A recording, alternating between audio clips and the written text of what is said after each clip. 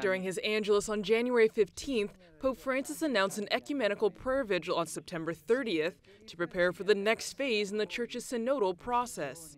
Perciò colgo questa occasione per annunciare che sabato 30 settembre prossimo in piazza San Pietro avrà luogo una veglia ecumenica di preghiera con la quale affideremo a Dio i lavori della sedicesima Assemblea Generale Ordinaria del Sinodo dei Vescovi. The Holy See Press Office held a press conference to discuss the vigil, which leads up to the next phase of the Synod.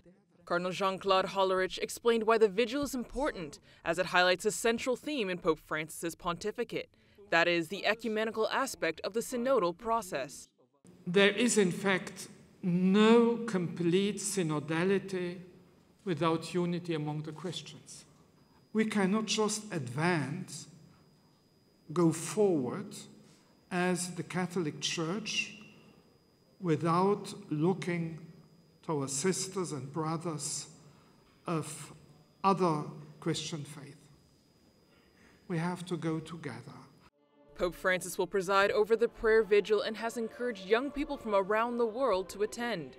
It will be held by the Taizé community, an ecumenical fraternity that leads groups of meditation and prayer for young people. Open to all, not only young people, but to all, the whole people of God.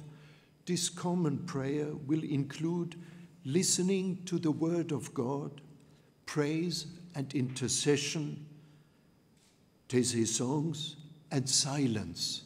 And we hope that this vigil will be a sign of fellowship unity, and peace. Following the prayer vigil on September 30th, the bishops will make a three day retreat in preparation for the next phase of the Synod.